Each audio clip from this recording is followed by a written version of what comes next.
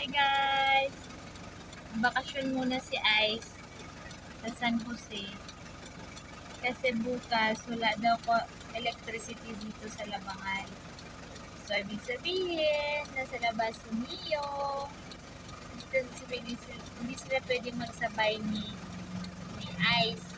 Kaya, bakasyon muna si Ice. Kuya! Ah! Masyadong ano daw, yung flash ng phone, ayaw niyang, ayaw niyang humarap. Kuya! Kuya! Kuya Ice! Ay, Kuya Ice! Ay, eh? Hello, Kuya Ice! Hello, Kuya Ice!